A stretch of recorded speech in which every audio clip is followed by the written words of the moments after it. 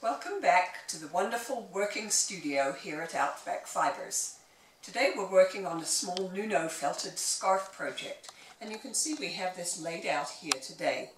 What we've done is started with a commercial scarf that I picked up and this is just one of these infinity scarves that goes around in a circle made from viscose, comes out of India and you can pick these up a number of different places. So we started with that as our scarf base, laid that out here. What we did was take some heavy duty plastic and we put that between the two sides of the infinity scarf so that our fibres that we lay on the top will not migrate down into the fibres on the other side. So the plastic acts as a resist between the two. It enables us to lay out the design elements on this surface, wet felt them down gently, turn it over and then we can repeat the design on the other side. So today we're featuring a number of the items that we sell here at Outback Fibers, starting with our needled pre-felt. And you can see this is a wonderfully thin product, but needled together well enough so that we can cut it with scissors, as we've done here, to make the leaves that we've put on the surface of our uh, decorated scarf.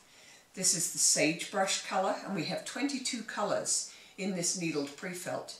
It's a beautifully needled product, very lightweight, fine merino, and you can double it for extra thickness and more density of colour if you want to. So be sure and check that out on our website.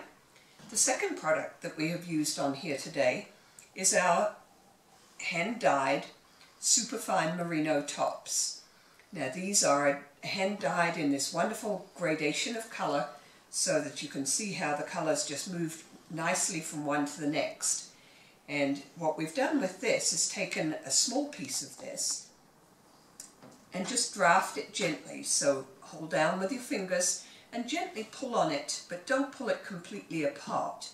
Move your fingers down, pull again, move your fingers down, pull a little, and you get a nice flat ribbon, keeping that nice gradation of colour as it moves along the piece of roving. And this is what we've used here to decorate the surface of our scarf. So then on top of the wool, we've taken the coordinating silk roving, and this is a tussar silk. Tussar silk comes from the caterpillars that are out in the wild. They eat oak leaves as well as the mulberry leaves, and the uh, resulting silk is a light honey colour and a little fuzzier than the bombyx silk, but it takes the dye beautifully, and you can see the wonderful colorways that we have here. And again, we've done the same thing. We've taken a thinner strip of the silk roving and we've drafted that out so that we get that nice movement of colour as we go along. And you can place this on top of the wool and it will give you some nice sheen on top of the wool and the, the scale structure in your wool will be enough to creep through and grab onto those silk fibres and carry the whole thing to where it'll connect onto your viscose base. So you can see on our design element here that we've laid out some wool base with the silk on top, some cuttings of our needled pre-felt and tied it together with some uh, drafted strips of the wool roving. And we're going to wet felt this side of the uh, scarf and then we'll gently turn it over. We'll put, repeat the design on the back side of the scarf, wet felt that, and then we'll fold the whole piece together and we'll be back to show you shortly what the, the finished piece looks like.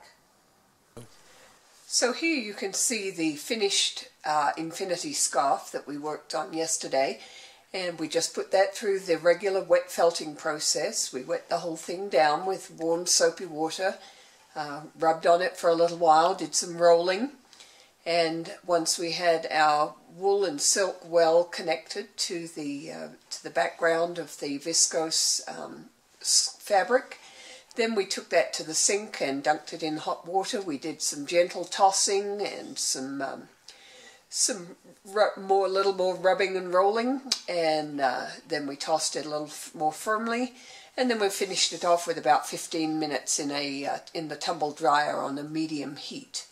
And uh, so this is just a nice little piece you can use on the top of a a sweater just to dress up your outfit. Um, and we hope this has given you some ideas um, for how to use this. And the colorways that we used in this today were the Summer Melon, which is the colour of the wool and the silk fibres that we used, and then of course the sagebrush pre-felt was what we used for the leaves. So we hope you'll enjoy trying a project like this yourself. Thank you.